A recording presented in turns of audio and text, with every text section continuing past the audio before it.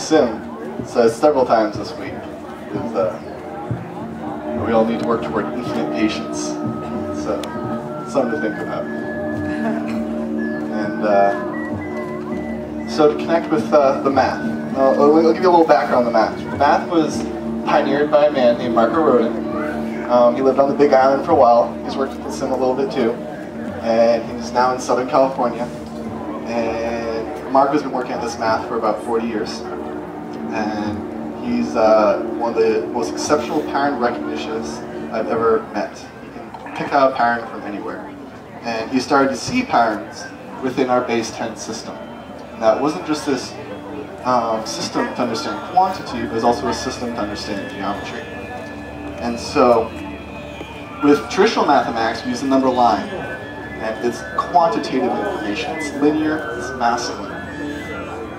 With Vortex mathematics, we use a number circle. The number circle is cyclical, it's qualitative, it's a feminine perspective. One of the uh, oldest symbols um, found in cultures and it's found in alchemy is a dot within a circle. So when I'm standing here, the center of this dome, say I'm that dot within the circle. I'm the, I'm the perceiver, what around me is the perspective. And every different perspective has a different piece information. However, when the quantity comes in, the quantity is energy.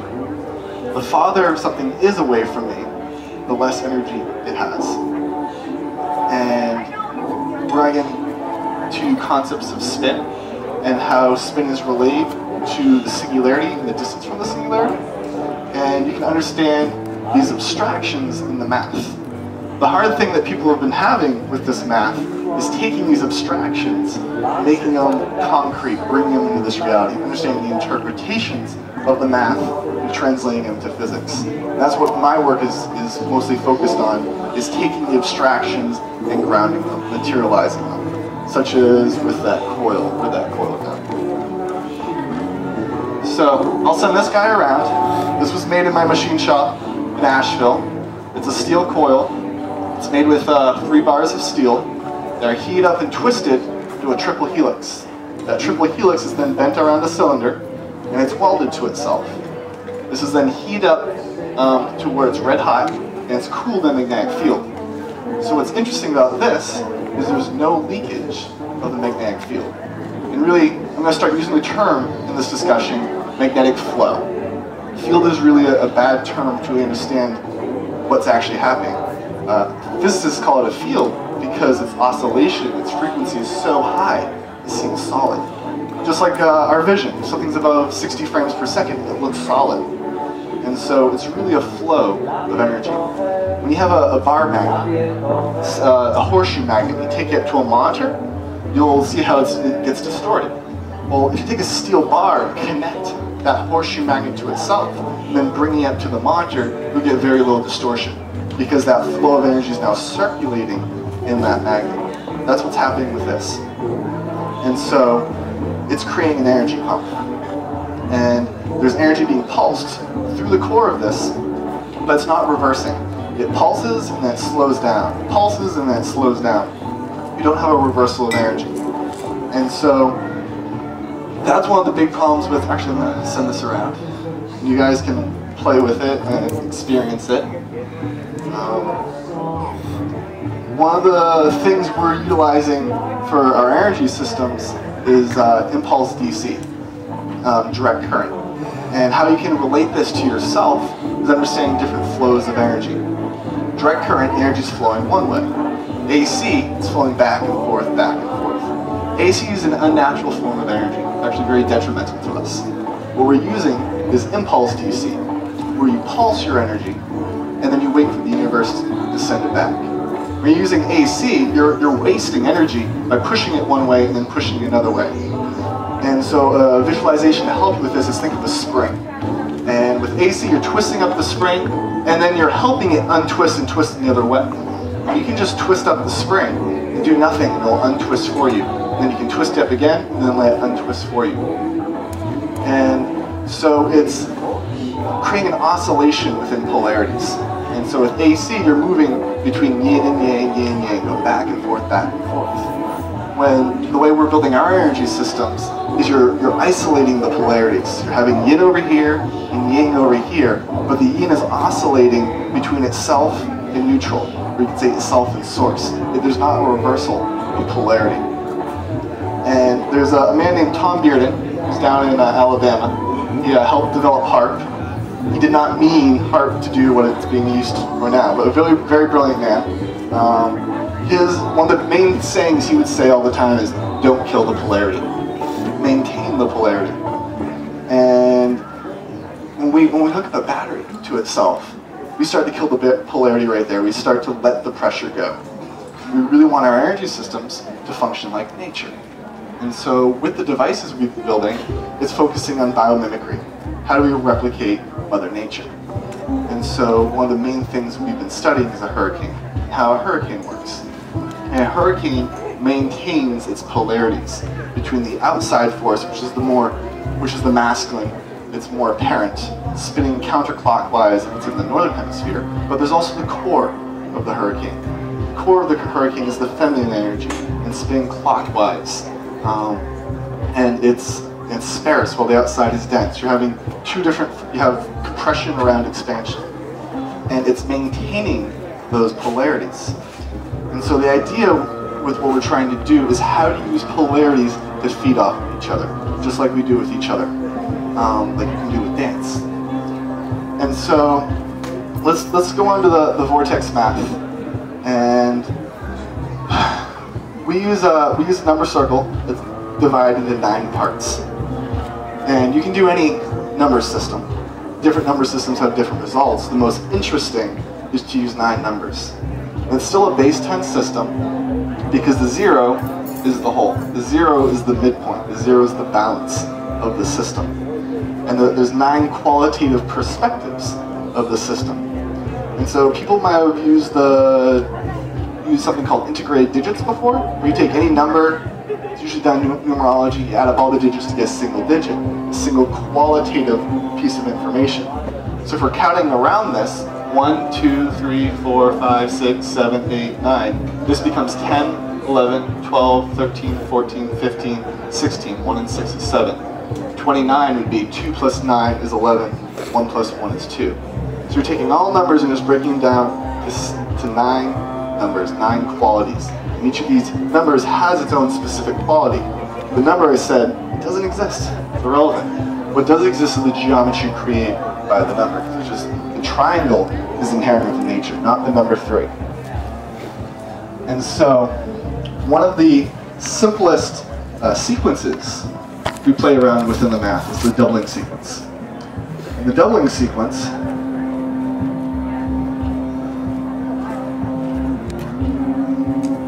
doubling sequence starts with a 1. And it goes from 1 to 2, 2 to 4, 4 to 8, 8 to 16, which is 7, 1 and 6 is 7. Uh, six, uh, 16 and 16 is 32, so 3 and 2 is 5. And then 32 and 32 is 64. 6 and 4 is 10. 1 and 0 is 1. And then 128, 1, 2, and 8 is 11, 1 and 1 is 2. So what I'm showing you right here is that there's a cyclical pattern within this doubling sequence.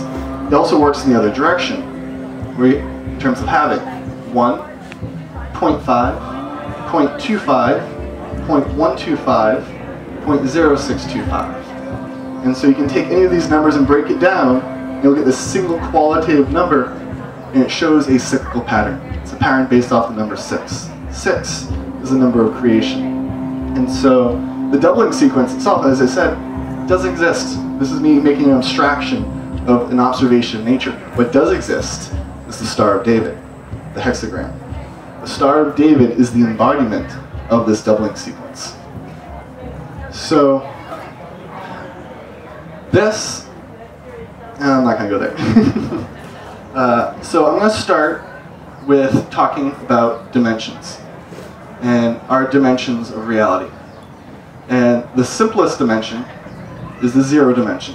The zero dimension is a dot. So, as I said, I was just hanging out in Nassim a few days before this, and the big discussion or, or uh, constructive argument we're having was the notion of singularities and, and boundary planes. And it was sort of a discussion between abstraction and what's actually real. And Nassim was saying that the core that a singularity has volume, and that a singularity cannot be a single point in space, and it must have volume. That every aspect of our reality has volume. And I was I was arguing this with him and um, using examples and uh, things I saw in nature and that he saw in nature, and then I made a statement which I talked about earlier, the dot within the circle. And I used to say this all the time, and when I said this, I was like, oh, you're actually right. In that, when you look at the dot within the circle, and you zoom in on that dot, you'll see another circle with another dot. And so what Nassim said is that singularity is has volume, but it's full of more singularities. And every other singularity has volume, but it's full of more singularities. And that you can never truly reach that singularity. So this is the aspect of the zero dimension. It's a singularity. It's a dot in space. But it's a dot that's forever approaching the infinite. And it's a gateway to the infinite. And so what we're trying to do in these energy systems, well, there's two processes, two alchemical processes, manifestation and transmutation. All of our energy systems are based on transmutation. Manifestation is learning to understand these dimensions and how these dimensions interconnect. They interconnect through geometry through specific geometrical processes. When you can understand these processes, big part of it being the vortex, and how to create this geometry to a singularity, you can start to access the infinite. You can start to pull, uh, say pull energy from the infinite, but it's manifesting energy from the infinite. There's an infinite amount of balance in the source. And so how do you polarize this infinite balance and bring it into our reality? And so this is what we're trying to understand with geometry. And so from the zero dimension, we move into the first dimension. And the first dimension is typically taught as a line. So we're going to shift our perspective here and talk it, about it from a cyclical perspective. And say that the first dimension is actually a circle. But we're going to view it in terms of topology. This is just about the surface of the circle. The circle is a boundary layer between the internal and the external. And you could sort of ignore that there's volume on the inside and there's volume on the outside. That's irrelevant at the moment. What's important is just the boundary layer. This idea relates to uh, hollow earth theory in that everything really is hollow. And there's just boundaries. We're just, we're just interacting with boundaries. Right now you're interacting with the boundary of me, the internal and the external. We're on the boundary of the land and the ocean. Most things in reality happen around the boundary layers. It's the, uh, the focal points of interaction. And so, in the first dimension, in the math, are these are sequences. They're sequences that move one direction. And through understanding them through numbers, you can see how these sequences dance. But really all these sequences are, are just different forms of oscillations, different forms of vibrations. And so when we're looking at these numbers, you could say it's like the matrix code of these vibrations you can see how these vibrations interact with each other. And so the simplest one is just a linear sequence coming from 1 to 9. However, that has a polar relationship with the number 8. 1 and 8 add up to 9. And so you're having polar relationships between the 1 and the 8, 2 and the 7, 3 and the 6, the 4 and the 5, 9 self-reflected you'll start to understand the importance of the 9 as I move through this math, and the trinity, the 3, 6, and the 9. So how the 8 is polar to the 1 is if I start counting by 8, 8, 16, 1 and 6 is 7, 24, 2 and 4 is 6, 32, 3 and 2 is 5, um, 40, uh, 4 and 0 is 4. And so counting by 8, I'll continually go around the circle in this direction, showing this qualitative pattern of 8. Same with counting by the 1 going this way. And so 1 and 8 are polarized to each other. And so the 2 and the 7, we have counting by 2, 2, 4, 6, 8, 10, 12, um, 14. Does everyone understand what I'm doing with the numbers and breaking them down? Is anyone confused by this? Alright. And so counting by 7 in the other direction, we have 7, 14, 1, 4 is 5, uh, tw uh, 21, 28, and 35.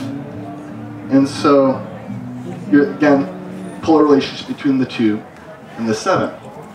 And then there's a relationship of the 4 and the 5. And so if you've noticed, the numbers I'm choosing at the moment, these six are all the six numbers of the doubling sequence. And I'm leaving out the trinity at the moment. Counting by four, we have four, eight, 12, um, I'm going to make this look so you guys can actually see the geometry of what's existing. So with the counting by four, we got four, eight, 12, um, 16, 20, 24, uh, 28, um, 32, 36, and back to 40. Alright. It's not a perfect star, but there's a star. And so this piece of geometry has two, two ways to perceive it. If you go one direction, it relates to the number 4. If you go to the other direction, it relates to the number 5. 5, 10, 15, 20, 25, 30, 35, 40, 45. And so these six numbers, the 1, the 2, 4, the 5, um, and the uh, 7, the 8, these are all the six numbers of the doubling sequence. And the six numbers of creation. The 3 and the 6 has a different relationship in terms of its polar information. All six of these numbers contain all nine numbers in some form of an order. But the 3 and the 6, 3, 6, 9, 12, 15, 18. And the 6, 6, 12, 18, 24, 30. And so 3 and 6 contain only three numbers in these linear sequences. And so there is a, it's a different level of a relationship. And so six numbers contain nine numbers. These two numbers contain three numbers, and the nine is self-reflective. 9, 18, 27, 36, 9 always adds up to, to 9. And so you're seeing a trinity relationship between these nine numbers. There's a relationship of the 6, there's a relationship of the 2, and there's a relationship of the 1. And so this aspect of a trinity relationship is found all throughout the math. This is at the very base level of the math, the simplest form of it, in the first dimension. In the first, after the first dimension, it starts to fractalize at a dramatic, dramatic rate. Um, I spend most of my time working with information in the second dimension. There's a world of information in the second dimension. Not a ton in the first, but in the second it fractalizes a ridiculous amount. In the third dimension, it's, it's a whole other ballgame. That's what Nassim's working with, with the uh, tetrahedrons. And so, as I was saying, there's only actually one vector of information when I'm talking about counting by four. That, if you visualize this as, a, as an oscillation, you, you could draw out the numbers on the oscillation to see the information in it. That's just a way we're interpreting it. However, that oscillation is only going in one direction. Once we get to the second dimension, so I'll show you the, the process connection, how you make that step, make that leap. There's eight vectors of information. When you get up to the third dimension, there's 64 vectors of information, which relates to Nassim's tetrahedral grid. And so the fourth dimension contains 512 vectors of, um, of information. And so it becomes much, much more complex and harder to wrap your mind around. Um, the first dimension is extremely simple compared to the rest. But uh, the second dimension, the second dimension relates to the torus um, that's being handed around right now. And so it's the donut. But the thing about the donut is we're just focused on the surface area of the donut. We're staying with this notion of topology. What's inside and outside of the donut is irrelevant at the moment to understanding the math. And so, um, so to get to the second dimension requires a kinetic process. It requires two opposing energies to collide into each other. So let's imagine this as a sequence, as this oscillation. And this is that same oscillation, but in opposing vector. So there are two opposing energies coming and colliding into each other. Now, from, from our observation, it seems linear. But when these two linear energies collide, physics would traditionally say that the energies cancel out. They cancel out and that dimensional level of energy is converted to a different form of energy. This relates to overlapping magnetic fields. As physicists will say, if you overlap two opposing magnetic fields, they cancel out, they're non-existent. But there's also this lovely law which they throw at us, um, the free energy movement law, the second law of thermodynamics. Our energy cannot be created, nor can it be destroyed. And that's just, that's the truth of it. And it gets converted to a different form of dimensional awareness. And when they collide together, they expand into a radial form of information. And so if you look at our galaxy, there's two black holes compressing energy in the center of our galaxy, and it's creating a radial system outwards. And so the process of it creating this radial system actually is visualized as a torus. And so, can I get someone to clean this off for me while I keep talking? Want to do it? Oh, it's coming off. Wax on, wax off like this, yo. serious, man. You splash water. Yeah, the whole thing. Get that. Use this one.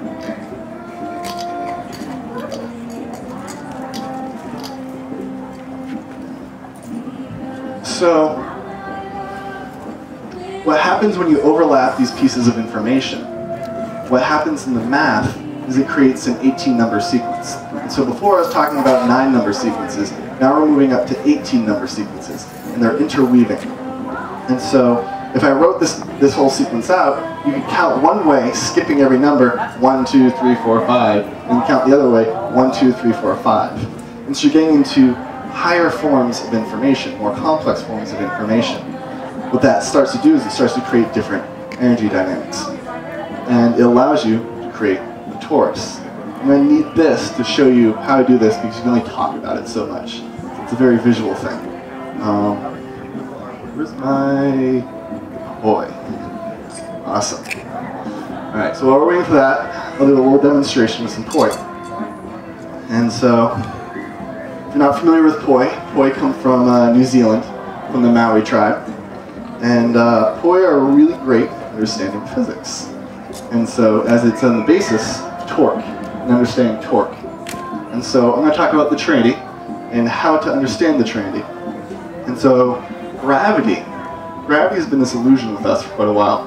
What gravity really is, or what we're experiencing for gravity, is centripetal force. It's a, it's a spiraling down, while centrifugal force is a spiraling away. And so, if you think of the, let's talk about hollow earth theory. Let's just visualize this concept for a second. And think of the crust of the earth.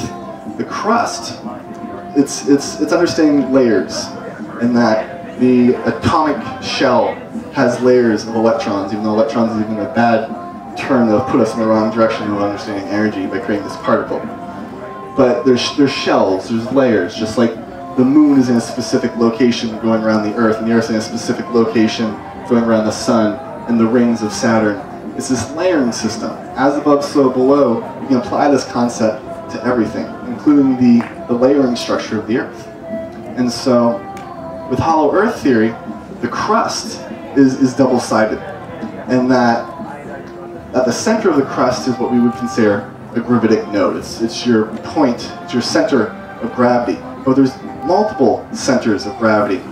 And the simplest way to understand this is if there's a singularity in the center of the Earth, it's radiating a vibration. Whenever this vibration expands and then collapses again, it creates another singularity. It creates another gravitic node. And so you get multiple places where there's center of gravity, and matter can build up these centers of gravity. But there's so let's imagine that the end of this poi is the surface of the Earth. It's the crust. Okay? Now what you're seeing is you're, you're able to see the masculine force very easily. You're able to see the centrifugal force getting pulled out to this point. Right? That's why usually when people think you're spinning poi, oh, you're just experiencing centrifugal force. but there's always equal and opposite reactions. So if there's centrifugal force going out, then there's centripetal force going in. And so you're seeing the masculine energy going out to this poi and holding it nice and taut. But what you're not seeing is a centripetal force being pulled inwards to the poi. Every time you start spinning something, you're creating that centripetal force spiraling in toward this poi. The more, the faster I spin it, the more those forces polarize. There's always an equal and opposite exchange of those two forces. And so if you're on the inside of Hollow Earth, you'd be experiencing for, gravity centrifugal force as you're getting uh, thrown outwards. But what we're experiencing is centripetal force being pulled inwards. This relates to the, the Coriolis effect. And so we usually consider gravity as a linear force. But we all, we all know that when we flush our toilets, it spins a certain direction. And the hurricanes in the northern hemisphere, as I said, spin counterclockwise. That's related to centripetal force. That's the cyclical aspect of centripetal force. What we consider gravity to be this linear force is the linear portion of centripetal force. The blue doesn't come off? It's coming off better now that I'm waxing on or waxing off, but it's an effort. Right. Water? It came off earlier. Oh man, it comes out so nice when there's no effort, but it means something with no effort. Here, I can I can use it as is. Alright, use it as it is. Just dry it off. Because you were using a, a red sharpie on it before, and I thought it would be better than the prism color. Oh, I mean, the prism color would be better. Work of art, leave that. It's your canvas. It's your canvas, a picture for everyone, us. Alright. Yeah, let's just call it good. So now I'm just gonna, I'm gonna draw out a matrix. This matrix is gonna appear to be 2D and linear, but really the way to perceive it is through um, a toroidal perspective. And I'll go through the steps, explain that, and hopefully no one will get lost. This has been the trick I've been really working on is how to communicate this concept, put it into qualitative language so we all can understand. So any feedback, if you're not getting it, let me know.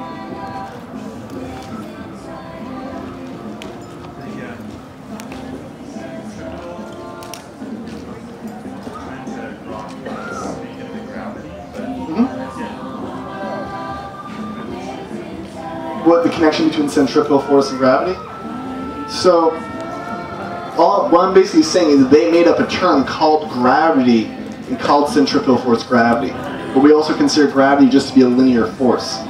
And so we can combine the line with the circle, you get the spiral.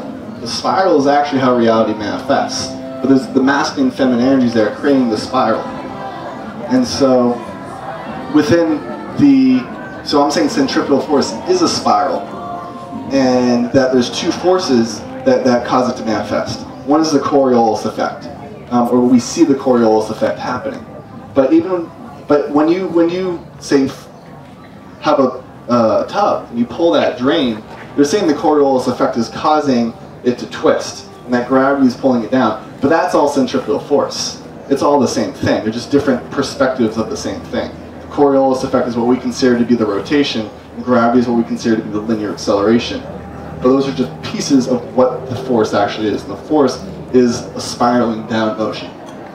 So, so it seems like everything is a movement in reality. Yes, absolutely. While we have been kind of taking a snapshot and then trying to explain it in like as if it was fixed. And Yes. In a way, everything is wrong with that. Yes. With that way of looking at it. So one of the things, at least for me growing up, I always considered time to be movement. But when I was talking about in the first dimension these sequences that they're in oscillation, there's movement in the first dimension. There's movement in the second dimension. It's all kinetic energy. Everything is moving. And so if everything is moving, then what really is the fourth dimension? So that's a whole different topic of what really time is. Um, but everything has motion. And it's, it's the only way things can manifest. Without, without motion, there's, there's just source.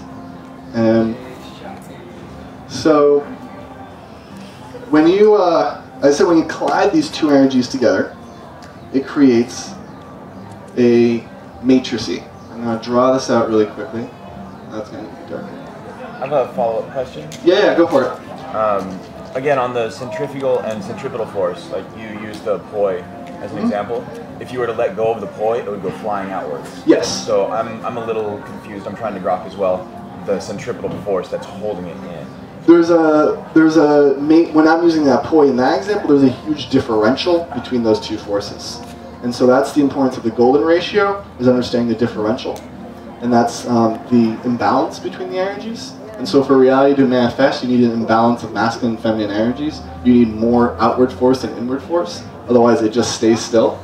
And so that relates to why the Sri Yantra has five masculine triangles, four feminine triangles. And so one of the fundamental ratios that we work with in our systems is the golden ratio, because the golden ratio is how you build energy.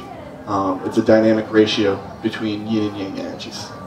So just to kind of clarify,